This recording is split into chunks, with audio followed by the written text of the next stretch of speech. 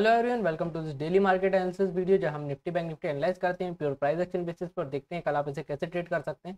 तो कैसे अगर आप बैंक निफ्टी को देखोगे, एक ज़बरदस्त ब्रेकआउट के बाद मार्केट ने दिन भर काफ़ी अच्छा एक कंसोलिडेशन करा, और इस कंसोलिडेशन का अगर कल हमें ब्रेकआउट देखने मिलेगा तो हमें बहुत ही ज़बरदस्त ट्रेड मिल जाएगी, क्योंकि काफ़ी अच्छा कंसोलिडेशन बैंक निफ्टी ने आज कर लिया है। तो हम ये भी डिस्कस करेंगे बट अपन पहले निफ्टी से स्टार्ट करते हैं प्राइस एक्शन का एनालिसिस क्योंकि हम पहले ब्रॉडर मार्केट्स का एनालिसिस ले लें, फिर अपन 15 मिनट पे आएँगे कि इसको आप इंटरडे पे कैसे ट्रेड कर सकते हैं।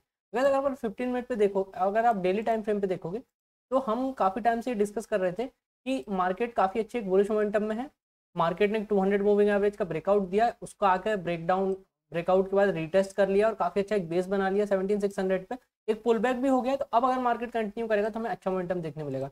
तो वैसे हिट द लाइक बटन अगर मैंने आपको कल ही कंसेप्ट समझाया हो कि हो सकता है एक बड़े मोमेंटम के पहले हमें छोटा सा एक पॉज एक डोजी काइंड ऑफ़ कैंडल देखने मिले और एक्जैक्टली मार्केट ने एक डोजी बनाई है निफ्टी पे। तो अगर आपने आंसर मेरा देखा हो तो लाइक ज़रूर करिएगा। और अगर आप नए हो इस चैनल पर तो सब्सक्राइब भी कर लो गाइज़ क्योंकि आपको डेली ऐसा price action base market analysis यहाँ मिलता रहेगा।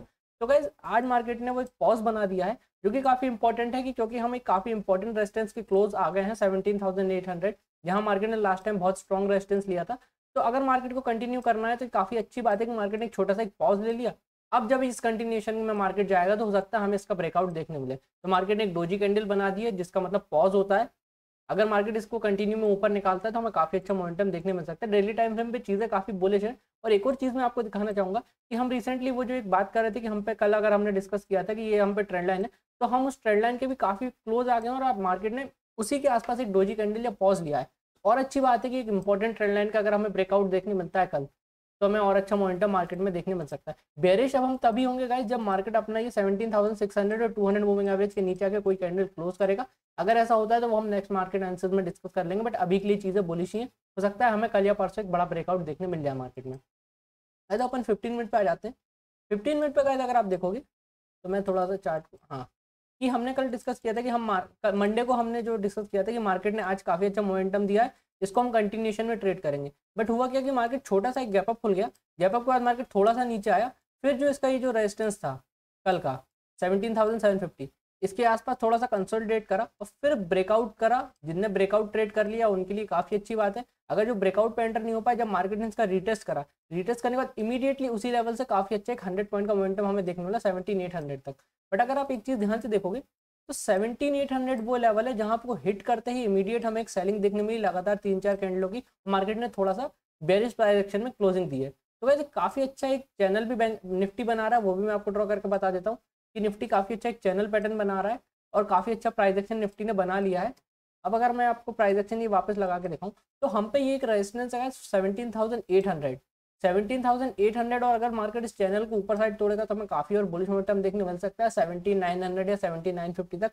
और मार्केट ने गाइज़ एक काफ़ी अच्छा एक जो कल रेजिस्टेंस था seventeen thousand seven fifty market ने आज उसी के आसपास थोड़ा सा सपोर्ट लिया, आप देख सकते हो। एक टाइम यहाँ लिया, फिर ऑलमोस्ट यहाँ पे लिया। तो अगर गाइज़ मार्केट अब इस चैनल को और नीचे अपने सपोर्ट को इसको ब्रेक डाउन करता है तो हमें काफ़ी अच्छा एक सेलिंग प्रेशर देखने मिल सकता है सेवनटीन थाउज़ेंड सेवन सिक्सटी तक सेवनटीन थाउज़ेंड सिक्स सिक्सटी के आसपास तक। तो गाइज़ निफ्टी काफ़ी सिंपल ट्रेड है, हालाँकि थोड़ा सा चैनल थोड़ा सा अब ट्रेंडिंग चैनल है तो दोनों साइड ब्रेकडाउन या ब्रेकआउट होने की प्रोबेबिलिटी है तो आप थोड़ा सा इसको ध्यान से ट्रेड करिए। बैंक निफ्टी पे काफ़ी अच्छी ट्रेड बन रही है तो अपन बैंक निफ्टी को देखते हैं पहले डेली टाइम पे, फिर अपन इसको फिफ्टीन मिनट पे देखेंगे कि आप बैंक निफ्टी का चैनल को कैसे ट्रेड कर सकते हो।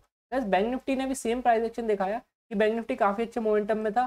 छोटा सा एक पॉज लिया, एक फ्लैग पैटर्न बनाया मंडे को ब्रेकआउट दिया और आज एक डोजी कैंडल या पॉज कैंडल बना दिया।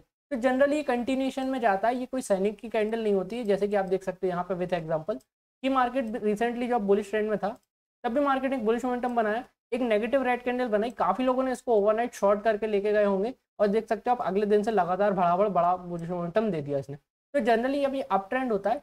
तो कहीं ना कहीं एक छोटी छोटी रेड कैंडल बनाता रहता है, जो पॉज होता है कि जिनको एग्जिट करना है, वो एग्जिट कर दिए, जिनको एंटर होना है, वो नया एंटर हो गया मार्केट कंटिन्यूशन में निकल जाता है।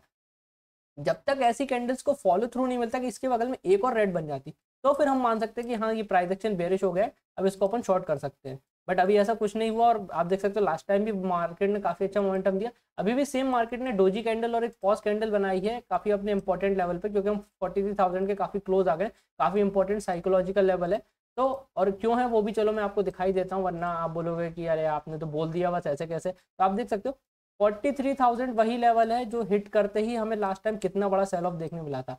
तो इसको अगर ब्रेकआउट करना है जोन को तो कहीं ना कहीं हमें पॉज या कंटिन्यूशन पॉज लेके फिर कंटिन्यूशन में जाना पड़ेगा। ये रेजिस्टेंस को कभी भी मार्केट को इंपॉर्टेंट सपोर्ट या रेजिस्टेंस को ऐसे नहीं तोड़ देता एकदम से। वो जाता है, यहाँ कहीं थोड़ा पॉज लेता है फिर जो तोड़ता है, वो एक जेन्युन ब्रेकआउट माना जाता है।